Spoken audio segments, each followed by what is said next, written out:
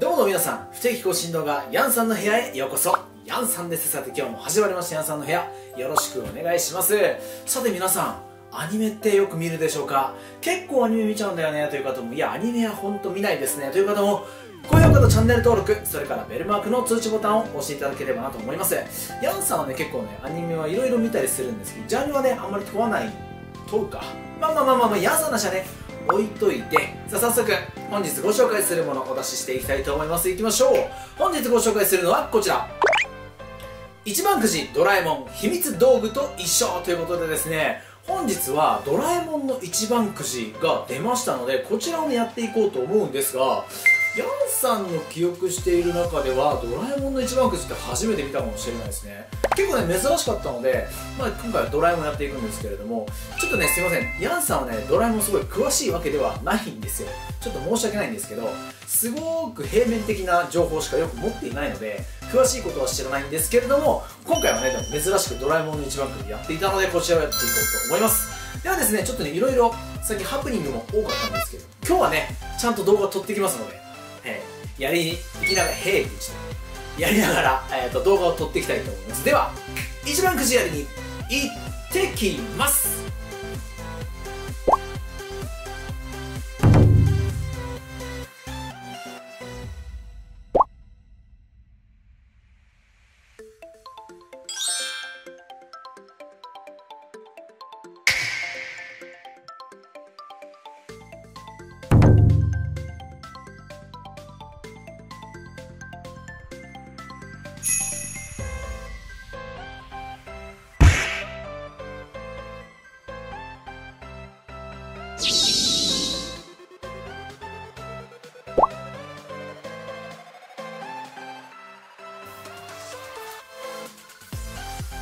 ということでですね、えー、っと今やってきたんですけれどもいやあのー、嬉しいんですけど狙いはちょっと違うんだよな。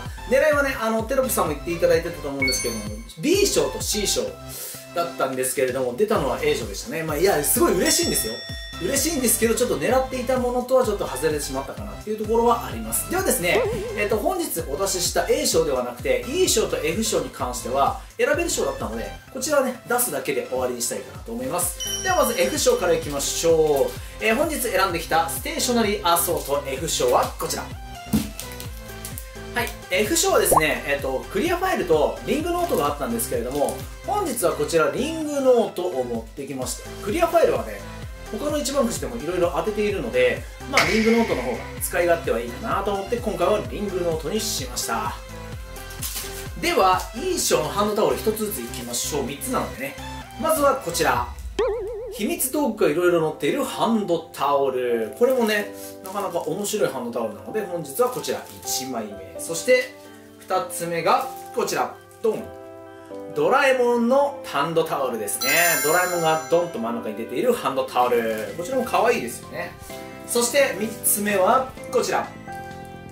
のび太とドラえもんが乗っているハンドタオルですね。えっとですねちょっと見えない見えないっていうか見づらいんですけれどものび太のねこっちの方にドラえもんが、えー、乗っているハンドタオルになります。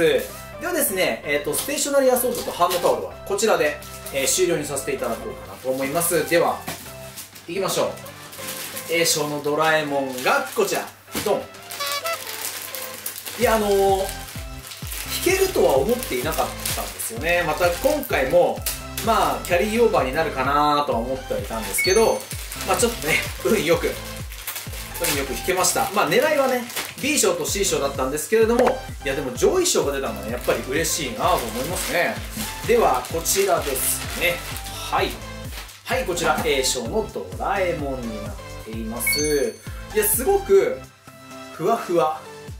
なんかあの、持つのもすごくいいサイズですしふわふわですね。夏はちょっとね持っていると暑いんですけれどもこの冬の時期とかはね持っているとすごいあったかいあったかい感じなんじゃないかなと思います。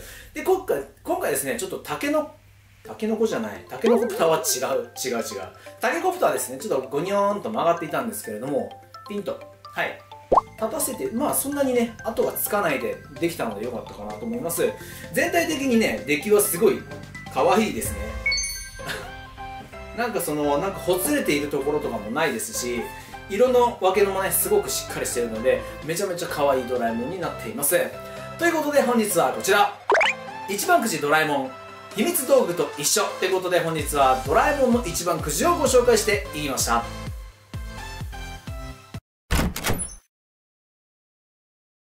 はいということで本日はこちら。一番くじドラえもん秘密道具と一緒ということでですね本日は一番くじドラえもんの一番くじですね。こちらをご紹介していったわけなんですけれどもちょっとねテロップさんがえっ、ー、とこっちかな？こっちかな？移動していると思うんですけれどもちょっとねこっちはタオルを並べていますのでこちらにどっちかな？はい言いますのでちょっとそれはねご了承いただいて。でですね本日の一番くじドラえもんはちょっと最初にも言ったんですけれどもヤンさんの記憶にはないんですよね。まあちょっとね忘れているだけっていうのもあると思うんですけれどもヤンさんが覚えている記憶している中ではないのですごくねあのこういうのもあるんだなっていうちょっと意外なところだったんですけれども今回の一番くじドラえもんこちらねちょっとぬいぐるみも出たのですごくキャリーオーバーではなくてよかったかなと思います。まあ狙いはねあのハンドハンドタオルじゃないあの B 賞のタオルと C 賞のポーチだったんですけれどもまあそこはねリベンジはうんしないかなと思います。まあ、今回は A 賞も出ているし、これで、えっと、リベンジはなしでいこうかなと思います。でですね、こちら、全国のセブンイレブンとかです、あ、セブンイレブンじゃない、ローソンとかですね、あとは、あの、いろんなところでやっているんですけれども、あの、ヤンさんの地元もそうなん、地元もっていうか、地元はなのかなのすごくやってる場所が少なかったので探すのに苦労したっていうところはあるんですけれども見かけた方ぜひぜひやってみてはいかがでしょうか。ということで本日はこちら。一番くじドラえもん秘密道具と一緒。本日はこちらをご紹介していきました。本日のお相手はヤンさんでした。また次回の動画でお会いいたしましょう。それではさようなら。